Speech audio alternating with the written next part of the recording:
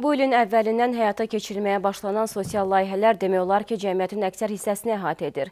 Minimum əmək haqqının, minimum pensiyanın təxminən 40% artırılması 830 minə yaxın insanı əhatə edir. Ümumilikdə, sosial paketlər təqribən 3 milyona yaxın insanın həyatının yaxşılaşmasına təsir göstərəcək. Sosial islahatlar haqqında daha ətraflı danışmaq üçün Əmək və Əhalinin Sosial Müdafiəsi Naziri Sahil Babayevi studiyaya dəvət etmişik. Xoş gəlmişsiniz, Sahil müəllim. Təşəkkür edirəm. Sayın müəllim, son günlərin ən çox müzakirə olunan mövzulardan biri prezidentin problemli kreditlərin həllinə dair fərmanı oldu. Bu, son illərdə vətəndaşların ən ciddi probleminin həllinə nə dərəcədə təsir edəcək? Bu, bir məna olaraq əksəriyyətin problemini həll edəcəkdir. Ümumiyyətlə, mən xüsusi olaraq vurğulayım ki, sosial sahədə bu inqilabi islahatlar ə, uzun bir təhlillərin, araşdırmaların nəticəsi kimi meydana çıxdı. Hələ ötən ildən cənab prezidentin verdiyi sərəncam və fərmanlar, tapşırıqların icrası məhz bu kimi təhlillərin hazırlanmasına və bu təkliflərin hökumətə təqdim edilməsinə dair idi. Və bu ə, e, sosial paketi bir məna olaraq inqilabi adlandırmaq olar. Çünki sizin qeyd etdiyiniz kimi 3 milyondan çox insanı əhatə edir və onların ailə üzvlərini götürdükdə artıq cəmiyyətimizin mütləq əksəriyyəti əhatə olunur burada. Və sosial islahatlar paketi müxtəlif istiqamətləri və müxtəlif təbəqələri əhatə etdi. Bir tərəfdən minimum əmək haqqının artırılması 600 mindən çox işləyən əhalimizin əmək haqqının aylıq olaraq 30% e, ətrafında artması deməkdir. Bunlardan 450 mini dövlət sektorunda çalışan insanlardır, 150 mini özəl sektorda çalışan insanlardır. Və bu 600 mində ilkin hesablamalarda biz inanırıq ki, rəqəm daha da yüksək olacaqdır və tədricən işləyən əhalimizin böyük əksəriyyətini bu əhatə edəcəkdir. Digər bir addım olaraq minimum pensiya 40% artırıldı. Yəni həm məşğul əhalimiz, əmək qabiliyyətli insanlarımızın sosial təminatı yaxşılaşdı, ardınca pensiyaçılarımızın sosial təminatı yaxşılaşdı və e, 233 mindən çox insanımızın pensiyaları 40%-ə yaxın artdı. Və bu 233 min insanın 140 mini məhz əlilliyi olan şəxslər idi. Onlarda xüsusilə bu pensiya artımları bəzən 2 dəfəyə gəlib çatdı. Yəni 80 manat, 75 manat, 90 manat pensiya alan əlillərimiz vardı. Onlar da artıq minimum pensiya məbləğində, yəni 160 manat məbləğində pensiya alacaqlar. Üçüncü bir istiqamət olaraq e, cəmiyyətin çox kövrək, həssas bir təbəqəsi olan e, əlillərimizi və müavinət alan insanlarımızı əhatə etdi və cənab prezidentin e, tarixi bir qərarı ilə sosial müavinətlər və təqaüdlərin böyük əksəriyyəti təqribən 102-103 faiz artırıldı. 2 dəfədən artıq artırıldı. Bəzi təqaüdlər daha çox, bəziləri daha az, amma orta rəqəm götürdükdə 2 dəfədən artıq bu e, təqaüd və müavinətlər artırıldı və bu da 577 min insanımızı əhatə etdi, hansıların ki, yarıdan çoxu məhz əlilliyi olan şəxslərimiz idi. Bu məqsədlərdə dövlət büdcəsindən əlavə 400 milyon manat vəsait ayrılmasına qərar verildi. Ardınca cənab prezidentin digər bir sərəncamı ilə məcburi köçkünlərə ödənilən müavinətlərin məbləği 50% artırıldı. 110 milyon manat da bu məqsəd üçün dövlət büdcəsindən vəsait ayrıldı. ayrıldı. Əlavə olaraq cənab prezident tələbələrin təqaüdlərini artırdı. Təqribən 100 min insanımızı bu qərarla əhatə etdi.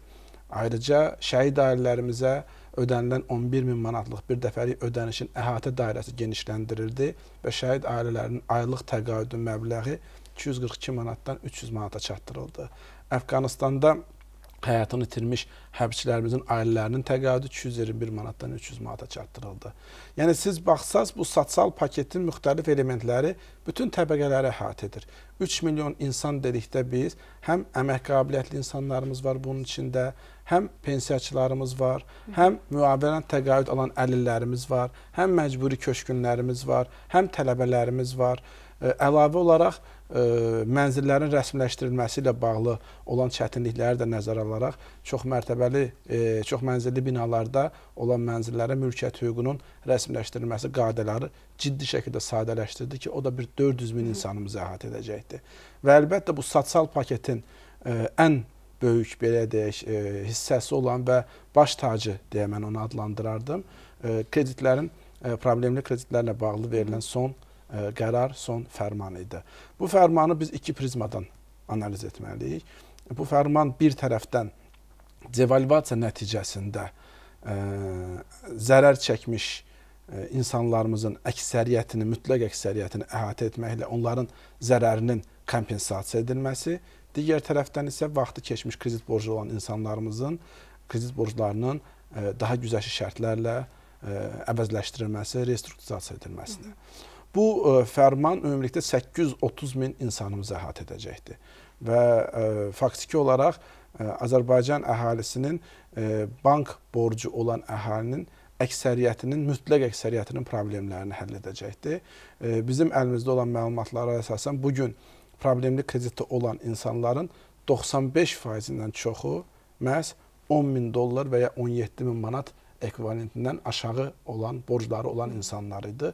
Və cənab prezidentin atdığı bu e, humanist və e, sosial yönümlü addım e, borcların düz 95%-ni əhatə etdi və ona görə də bu qərarı biz analoqu olmayan bir qərar da adlandıra bilərik. Çünki analoji problemlərlə rastlaşan ölkələrin heç birində bu dərəcədə böyük əhatə dairəsi olan, bu qədər e, insanı ehtiva edən və bu həcmdə onların borclarını restrukturizasiya edən və ya onlara kompensasiya edən belə bir qərar yoxdur. Və bu qərarın nəticəsində devalvasiya nəticəsində zərər çəkmiş insanlar 21 fevral tarixinə olan borclarına görə, e, valyutada olan borclarına görə 25 qəpik, 21 dekabr tarixində olan borclarına görə 60 qəpik olmaqla hər iki dövrdə o insanın borcu olmuşsa 85 qəpik cəmi məbləğdə faktiki olaraq devalvasiya nəticəsində dəymiş zərərin tam kompensasiyasını əldə edəcəklər. Digər tərəfdən onların faiz borcları silinəcək, onlara qarşı cərimələr silinəcək və onlara qarşı qaldırılmış məhkəmə iddiaları hər biri geri çağırılacaq. 300 mindən çox bu gün e, problemli borca görə problemli kreditə görə məhkəmə işləri var. Və təsəvvür edin ki, 300 min ailənin e, problemləri bir günün içində həll olunacaqdır. Restrukturizasiya baxımından da burada önəmli nöqtə bütün çətinlikləri dövlət öz üzərinə götürdü. Bu məqsədlə e, Mərkəzi Banka tövsiyə edirdi ki, 700 milyon məbləğində çox güzəştli bir kredit ayırsın banklar üçün.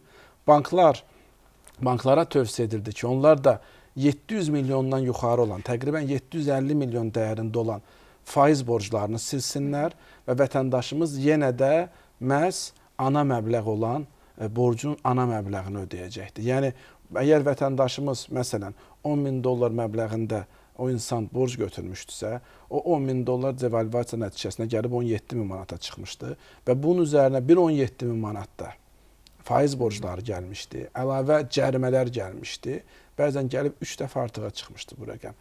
Devalvasiya fərqi, yəni 8500 manat dövlət tərəfindən ödənəcəkdir. Faiz borcları hamısı silinəcəkdir. Vətəndaşımız ilk götürdüyü məbləğ qədər cəmi borclu qalacaqdır.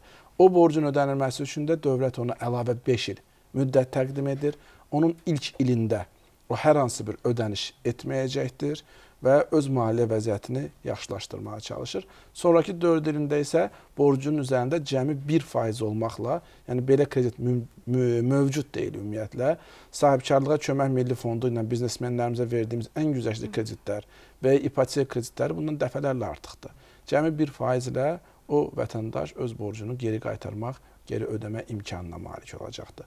Ona görə də fərmanın əhatə dairəsinə baxdıqda fərman e, kredit borcları segmentində bütün e, problemli hissələri əhatə edir. Həm devalvasiya məsələsini, həm restrukturizasiya məsələsini, həm də vətəndaşın üzərinə hər hansı bir əlavə öhdəlik qoymur, onun şəraitini qat-qat daha yaxşılaşdırır və ona qarşı olan məhkəmə iddiaları geri çəkilir, onun faiz borcları silinir.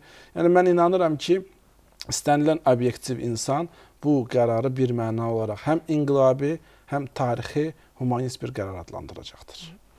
Çox sağ olun Səlim müəllim. Bu gün əhalinin sosial müdafiəsinin gücləndirilməsi istiqamətində bir sıra işlər görülür. Bundan sonra hansı işlərin görülməsi nəzərdə tutulub? Bu işlər davamlı olacaqdır. Ümumiyyətlə ölkə başçısının tapşırığı ondan ibarətdir ki, sosial müdafiə, sosial təminat işləri mütəmadi olaraq genişləndirilməlidir. Əhatə dairəsi, onlara verilən sosial dəstəyin məbləği və eyni zamanda onun icra prosesi də tam təkmilləşdirilməlidir. Və cənab prezident artıq özü də anonsu verdi. Minimum əmək haqqı ilə bağlı, minimum pensiya ilə bağlı qeyd elədi ki, bu heç də son artım deyil, növbəti artımlar olacaqdır və müvafiq təhlillər aparıldıqdan sonra, müvafiq büdcə vəsaitləri nəzərdə tutulduqdan sonra minimum əmək haqqı və minimum pensiyaların mütəmadi artırılması, onların indeksasiya məbləğlərinin genişləndirilməsi, eyni zamanda icra prosesinin tam təkmilləşdirilməsi üzərində iş aparılacaqdır. Çünki tək qərarların qəbulu deyil, o qərarların düzgün vaxtında və keyfiyyətli icrası da çox önəmlidir və bu baxımından mən məsələn toxunmaq istərdim pensiyaların avtomatlaşdırılması. Hı -hı. Yanvar ayının 1-dən etibarən cənab prezidentin ötən il qəbul etdiyi ə, qərar nəticəsində və müvafiq qanun dəyişikliyi nəticəsində biz vətəndaşlarımızın böyük bir qisminin pensiyasını avtomatik olaraq onların ad günündə təyin edirik. Vətəndaşın heç bir yerə müraciətini gözləmirik, onu ad gündə təbrik edirik və onun ə, təyin olmuş pensiya məbləği barədə məlumat veririk ona. Və ə, bu günə dək artıq 5000-ci e, təyinata çox yaxınlaşmışıq. Son rəqəm 4956 idi mənə verilən və gələn həftə ərzində mən inanıram ki, 5000-ci insanımıza da bu qaydada pensiya təyinatı aparılacaqdır. O avtomatlaşmanın aparılması imkan verir ki, artıq 160 manat minimum pensiya məbləğinə keçidi bir gün ərzində təmin edək artıq vətəndaşlarımızın müraciətinə, hansısa sənədlər toplamasına, hansısa e, dövlət strukturlarına e, qəbula yazılmasına heç bir ehtiyac qalmır və mart ayının birindən artıq qüvvəyə mindiyinə görə qanunvericilik avtomatik olaraq bu ay onların pensiyası yenilənmiş 160 məbləğindən yuxarı məbləğdə təyin olunaraq ödəniləcəkdir. Eyni ilə ə, əmək haqqı ilə bağlı minimum əmək haqqının artması nəticəsində mart ayının 1-dən etibarən vahid tarif cədvəli üzrə işləyən, dövlət sektorunda işləyən insanlar və özəl sektorda işləyən insanlar hər birinin əmək müqaviləsi dəyişdiriləcəkdir və onların əmək müqavilələri 180 manat minimumdan yuxarı olaraq təsbit edilərək ödəniləcəkdir. Eyni yanaşmanı müavinət və təqaüdlərə də şamil etməyə çalışırıq. Hal-hazırda müavinət və təqaüdlərin avtomatlaşdırılması üzərində ciddi iş aparılır və təqribən 577 min qeyd etdiyim kimi insanımızın e, müavinət və təqaüdlərinin 1 aprel tarixinə avtomatik rejimdə artırılması üzərində iş aparılır. Çünki o qərar bildiyiniz kimi 1 aprel tarixindən qüvvəyə minəcəkdir və mən inanıram ki, 1 aprelə qədər bütün müvafiq elektron bazalar bunun üçün yaradılacaqdır. İlin E, geri qalan hissəsində isə müavinət və təqaüdlərin ümumiyyətlə təyinatının avtomatlaşdırılması, yəni pensiya təyinatı kimi onların da avtomatik şəkildə, avtomatik rejimdə vətəndaşlarımıza təyin edilib verilməsi ilə bağlı işlər görüləcəkdir. O da imkan verəcəkdir ki, icra keyfiyyətini biz ciddi şəkildə yaxşılaşdıraq, vətəndaşlarımız məmnun olsun. Digər bir tərəfdən Mehriban xanımın e, təşəbbüsü olan və böyük uğurla bu günədək belə də icrası ə, e, aparılan və yaxın günlərdə açılması gözlənilən Dost Agentliyi və Dost Mərkəzi ilə bağlıdır. Və bu ə, e, sosial sahədə görülən işlərin məntiqi nəticəsi olaraq Dost Agentliyi və Dost Mərkəzi imkan verəcək ki, vətəndaşlarımıza ən effektiv, ən səmərəli şəkildə bu xidmətləri göstərək, bu xidmətləri onlara təqdim edək və onların məmnunluğunu əldə edək. Yəni sosial sahədə görülən işlər çox şaxəlidir. Cənab prezidentin bu sahədə verdiyi tapşırıqlar, verdiyi fərman və sərəncamlar və onun özünün niyyəti məhz sosial müdafiənin daha da gücləndirilməsi, əhatə dairəsinin daha da genişləndirilməsi və birmənalı olaraq onun icrasının ən yüksək standartlara uyğun, beynəlxalq təcrübəyə uyğun qurulmasıdır. Çünki sosial sahə ən geniş sahədir. Sosial sahə əhalinin böyük bir qismini əhatə edir və eyni zamanda sosial sahə ən mürəkkəb sahədir. Çünki burada e, istənilən addım atan zamanı onun e, mənfi və müsbət cəhətləri ətraflı şəkildə dəyərləndirilməlidir. Hər hansı bir müavinatın məbləği artırılan zamanı onun e, iş məşğulluq imkanlarıyla əlaqəsi baxımından qiymətləndirilməsi aparılmalıdır. Yəni sosial müdafiə heç də onu təşviq etməli deyil ki, insanlar işləməsin, evdə otursun, ancaq müavinət hesablanır.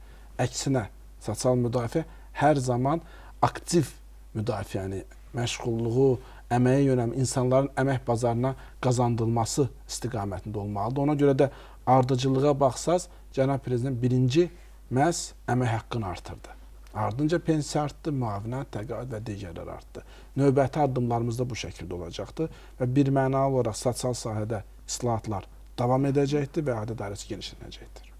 E, fiziki məhdudiyyətli insanların əmək bazarına cəlb edilməsi istiqamətində hansı işlər görülür? Biz bilirik ki, iki layihə hazırlanıb, əlilliləri və yaşlı insanları əhatə edir. Onların icrası istiqamətində hansı işlər görülür? Burada bir mənalı olaraq çox e, geniş və əhatəli işlər bizi gözləyir. Çünki e, sağlamlıq imkanı məhdud, əlilliyi olan şəxslərimizin iş imkanlarının dəyərləndirilməsi kompleks bir məsələdir. Burada yalnız dövlət tərəfindən deyil, özəl sektor tərəfindən də ciddi addımlar atılmalıdır və bununla bağlı məşğulluq haqqında qanunvericilikdə müvafiq düzəlişlər edilibdir. Bu ay ərzində biz e, gözləntimiz məşğulluq elektron sistemindən istifadəyə verilməsidir. Məşğulluq portalı işə verildikdən sonra bütün işə götürənlər və iş axtaranlar vahid bir portalda birləşdiriləcəkdir və istənilən şəxs ölkə üzrə istənilən vakansiyaya müraciət edə biləcək. Eyni zamanda qanunvericiliyin tələbi var ki, istənilən işə götürən öz işçilərinin bəlli bir faizini məhz sosial cəhətdən həssas insanlara təqdim etməlidir. Əlilliyi olan şəxslərə, sağlamlıq imkanı məhdud şəxslərə, məcburi köçkünlərə və s. sosial həssas təbəqəyə. Məhz bu portal imkan verəcək ki, bu nəzarət mexanizmi də formalaşdırılsın və əlilliyi olan şəxslərimiz üçün, məhdud əmək qabiliyyətli şəxslərimiz üçün xüsusi ə, müraciət imkanları bu portalda yaradılacaqdır. Onlar vasitəsilə onlar müxtəlif vakansiyalara müraciət edə biləcəklər. Bu ə, ölkə masştabında həyata keçiriləcək bir iş olacaqdır. Paralel olaraq məşğulluq xidməti tərəfindən BMT inkişaf proqramı ilə birlikdə iki ə, qeyd etdiyiniz layihə hazırlanmışdır. Bu layihələr çərçivəsində də ə, yaşlılarımızla bağlı və ə, əlilliyi olan xanımlarımızla bağlı çox şaxəli bir iş aparacağıq və hər biri çərçivəsində orta hesabla 500 ə, vətəndaşımızı işlə təmin edəcəyik. Əlavə olaraq cənab prezidentin böyük bir təşəbbüsü olan özünü məşğulluq proqramı çərçivəsində ötən il ə, minə yaxın əlilliyi olan şəxsimizi ə, özünü məşğulluq aktivləri ilə təmin etmişik və onlar öz bizneslərini yarada biliblər. Bu il ə, əsas üstünlük yenə də onlara veriləcəkdir. Bu il proqramın genişləndirilərək 7000 adama çatdırılması, e, ilin sonuna tərəf isə əlavə 3000 şəxsin əlavə edilməsi, yəni ümumilikdə 10 min insana çatdırılması planlaşdırılır və nəzərə alaraq ki, artıq ilk 2 ayda müraciətlərin sayı 20 mindən çoxdur və il ərzində bizim gözləntimiz odur ki, 50 mindən çox müraciət gələcəkdir. Biz bu ildə əsas kvotanı məhz əlilliyi olan şəxslərimizə, məcburi köçkünlərimizə, şəhid ailələrimizə, yəni sosial e, cəhətdən ən həssas kateqoriyadan olan insanlarımıza həsr edəcəyik və bunun nəticəsində mən inanıram ki, minlərlə əlilliyi olan şəxsimiz bu il özünü məşğulluq proqramı çərçivəsində öz bizneslərini, öz e, deməli aktivlərini alaraq öz kiçik bizneslərini yarada biləcəklər. Əlavə olaraq biz Dünya Bankı ilə də müzakirələrə başlamışıq. Bu da cənab prezidentin təşəbbüsü ilə baş tutdu. Davosda Dünya Bankı qrupunun rəhbərliyi ilə görüşü zamanı bu ə, e, təşəbbüs irəli sürüldü və onun üzərində artıq iş aparılır. Növbəti ildən Dünya Bankı da özünü məşğulluq proqramına qoşulacaqdır və bizim planımız odur ki, gələn il özünü məşğulluq e, proqramına qoşulan ailələrin sayını 15 minə çatdıraq. Hər il artıq 7 minlə, 10 minlə deyil, 15 min ailəni əhatə etməklə bu proqramı icra edək. Yəni e, bu segmentə baxdıqda görülən işlər çox şaxəlidir. E, bəlli uğurlarımız, nəticələrimiz var, amma qarşıda duran islahatlar və proqramlar qat-qat daha genişdir və mən inanıram ki, qısa müddət ərzində, yəni bu ilin sonuna artıq bir çox nailiyyətləri hər kəs görə biləcəkdir. Sahib müəllim, şəhid ailələri, məcburi köçkünlər və Qarabağ əlillərinə qayğı və diqqət göstərilir. Onların problemlərinin həlli istiqamətində bir sıra addımlar atılır. Yəni bundan sonra bu il ərzində hansı addımların atılması nəzərdə tutulub? Cənab prezidentin hər zaman ən yüksək qayğısını və dəstəyini göstərdiyi kateqoriyaları siz sadaladınız. Şəhid ailələri ölkə başçımız 28 yanvarda onlarla görüşdü. Onların hər birindən e, söhbət elədi, onları dinlədi və həqiqətən də çox səmimi bir görüş alındı və cənab prezidentin e, dövlət başçısı seçildikdən sonra verdiyi ilk fərman məhz şəhid ailələrinə bir dəfəlik ödənişin verilməsi ilə bağlı idi. O fərman əhatə dairəsində cənab prezident genişləndirdi və bu məqsədlər üçün e, büdcədən 135 milyon manat vəsait ayrıldı. Artıq bu günə mən qeyd edə bilərəm ki, 4300-dən çox e, şəhidimizin təqribən 6000 vərəsəsinə 11 min manatlıq ödəniş həyata keçirilmişdi. İl ərzində bu davam edəcəkdir. İlin sonuna qədər 12268 şəhid ailəsinin hər birinə 11 min manatlıq ödəniş həyata keçiriləcəkdir. Digər tərəfdən şəhid ailələrinə verilən təqaüdün məbləği ciddi şəkildə artırıldı, 300 manata çatdırıldı. Üçüncü bir istiqamət olaraq müharibə əlillərimizin təminatı ciddi şəkildə artırıldı. Mən e, vurğulayım ki, bu gün birinci qrup müharibə əlillərimiz ən azı aylıq müavinəti aprelin 1-dən etibarən 450 manat vəsait alacaqlar. Bu, bu da artıq orta əmək haqqına yaxın bir rəqəmdir və çox ciddi dəstəkdir onlar üçün. Və e, 20 mindən çox bizim müharibə əlillərimiz var və onlara bərabər tutulan şəxslərimiz var.